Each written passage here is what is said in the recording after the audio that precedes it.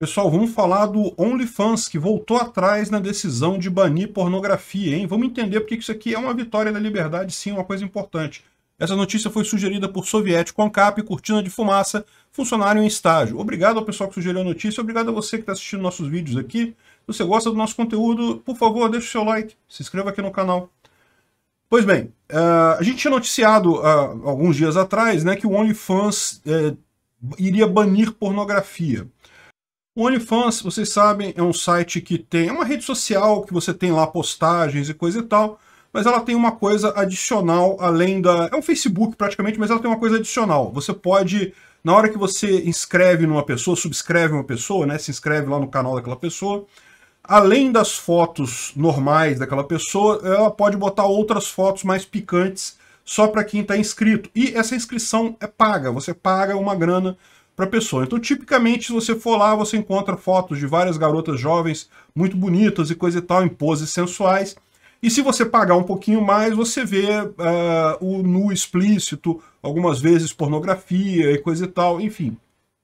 Tem é, várias meninas que vivem disso daí e ganham um bom dinheiro, eu acho ótimo. Isso aí, meu amigo, sendo maior de idade, como eu falei para vocês, a minha, minha visão sobre prostituição, pornografia, esse tipo de coisa é muito simples. Sendo consensual, a pessoa fazendo aquilo ali de livre, espontânea vontade, é direito de todo mundo, tá tudo, tudo certo ali. É lógico, é, a gente está excluindo aqui casos de pessoas menores de idade, pessoas que não têm capacidade de tomar esse tipo de decisão, e também situação de alguém que é obrigado a fazer aquilo. Evidentemente, é, não existe isso. Se a pessoa está ali por livre e espontânea vontade, não tem problema nenhum.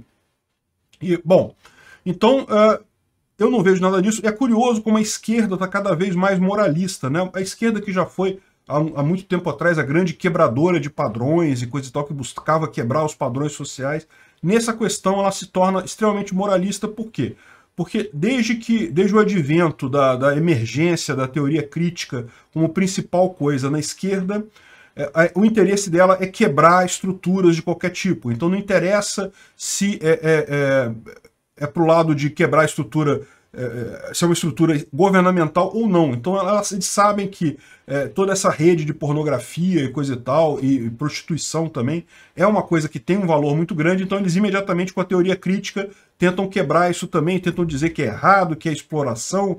Ah não, mas a mulher é obrigada a fazer aquilo ali. Não, não é, ninguém é obrigado a fazer aquilo ali. Você pode não fazer, sempre pode. Enfim, é, tem toda essa briga da esquerda que, curiosamente, acaba tornando ela parecida com os moralistas é, da, da, direita conservadora. Né? É, não estou dizendo que todo conservador seja moralista, mas que tem moralistas na direita conservadora, sim.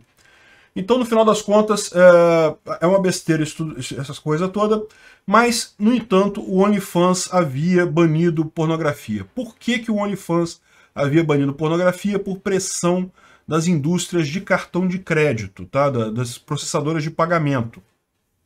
E aí tem duas coisas ali. Uma, uma coisa que me apontaram é que existe, um, nesse tipo de, de mercado de pornografia, existe um grande número de, eh, de ataques de repúdio. O que é um ataque de repúdio? Você faz a compra com o cartão e depois você nega que fez aquela compra. Seja porque você se arrependeu do que comprou, seja porque é, gastou demais e depois teve que fazer alguma coisa, seja porque era um golpe mesmo, você queria só fazer o golpe mesmo desde o início. Mas é muito comum pedidos de devolução nessa indústria. E lógico que para as empresas de cartão de crédito, na verdade, para qualquer uh, empresa de pagamento, existe um custo nessa questão de pedir devolução do dinheiro. Então, é, poderia ser isso que, é, é que estava em, é, embarreirando esse negócio aí. E pode ser mesmo, mas eu não tenho dúvida que havia também muita pressão de grupos da esquerda. Esses grupos esquerdistas têm feito muita pressão pontual, é, tipo Sleeping Giants e coisa e tal, o pessoal tem feito muita pressão pontual. Como é que eles fazem? Eles mandam um monte de carta para essas grandes empresas, pegam um monte de gente para mandar carta é, reclamando daquilo, pedindo é, apoio, coisa e tal, contra aquilo. E eu não duvido nada que os esquerdistas tenham feito esse tipo de manobra contra o OnlyFans. Qual foi a grande vantagem aqui do OnlyFans? Ele jogou isso no ventilador, ele expôs, olha só, nós estamos proibindo porque os bancos estão exigindo isso da gente. Ponto é esse. Os bancos não estão dando alternativa, se a gente não banir pornografia, os bancos não vão aceitar mais pagamento e a gente fica do lado de fora. Eu falei para eles que eles estavam cometendo suicídio mercadológico, né? e de fato estavam. É, é, seria muito mais é, razoável para eles irem para a, a, a informalidade, irem para o Bitcoin, tirar, não fazer mais processamento nas, é, por cartão de crédito, fazer pagamento por Bitcoin. Já tem um monte de site que funciona assim. Inclusive um, uh, um site que é concorrente deles, que estava crescendo para caramba, que faz, é, basicamente era um OnlyFans recalchutado e que estava crescendo muito. Muito mesmo, porque o pessoal falou, oh, não, não pode mais fazer pornografia aqui, eu vou fazer no outro. E, e uh, o, que, que, o que, que acontece nesse caso? Bom, parece que os bancos voltaram atrás. O que a gente está entendendo disso daqui é que, pelo que está dizendo a reportagem aqui, é que eles obtiveram uma, uh, uma, um compromisso dos grandes bancos de não, não tirar os meios de pagamento da OnlyFans. Né? Eu imagino que tenha tido alguma, alguma negociação ali, eles, o OnlyFans deve ter feito alguma alguma concessão também nessa história toda. Mas no final das contas, é, o grande ponto é a pressão contra os grandes bancos deve ter funcionado. E deve ter funcionado até porque muita gente da esquerda mesmo vive com OnlyFans, você sabe, né? Tem um grande número de garotas que está vivendo a vida dessa forma. E não tem nada de errado com isso. Não estou não tô sendo questionador aqui, não. Acho perfeitamente justo. Então, é, o, que tá, o que aconteceu foi isso. O pessoal é, é, é nomeou o culpado aqui e a coisa é, transpareceu de forma muito livre. Eu acho isso uma coisa positiva. Os bancos perceberam o problema que estavam abrindo caminho justamente para pagamentos via Bitcoin. E não tem nada que os bancos tenham mais medo do que isso. No momento que o pessoal começar a se acostumar a usar Bitcoin para pagar as coisas, meu amigo, acabou para os bancos, tá? Já tem um monte de loja, um monte de empresa na China, em outros lugares, que você pode comprar coisas e pagar em Bitcoin, pagar em criptomoeda. É muito comum isso por aí.